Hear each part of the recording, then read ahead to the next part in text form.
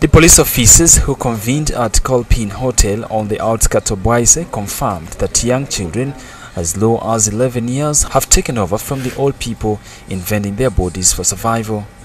Kate Nandi, in charge of child protection at the Central Police Station, blames this deadly practice on married women who have neglected their roles in homes, pushing the men to hire young girls for sexual satisfaction. We are appealing to these mothers who have been leaving their children on the street to stop from doing that. They better get our children, counsel those children. If they are defeated, let them use any police station which is nearby. We have an office of Child and Family Protection Department. Those, those officers will handle these children. We shall talk to these children. We shall counsel them. We shall see how we can help.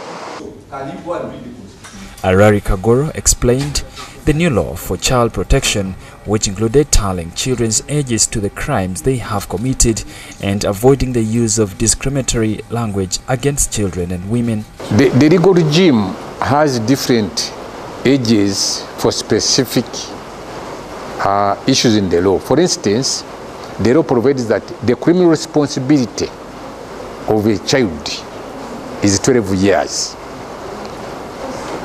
So I was explaining to them that if any child is below the age of 12, then you cannot hold that child criminally responsible.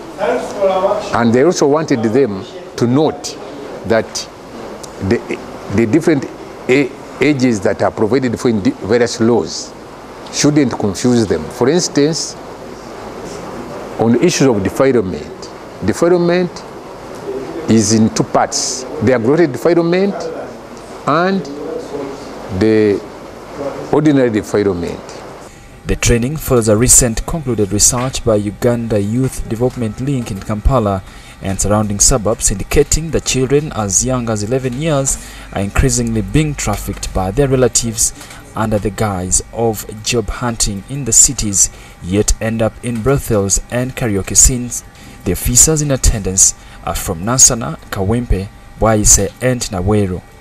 Report by Fatuma Nalwanga for Urban TV.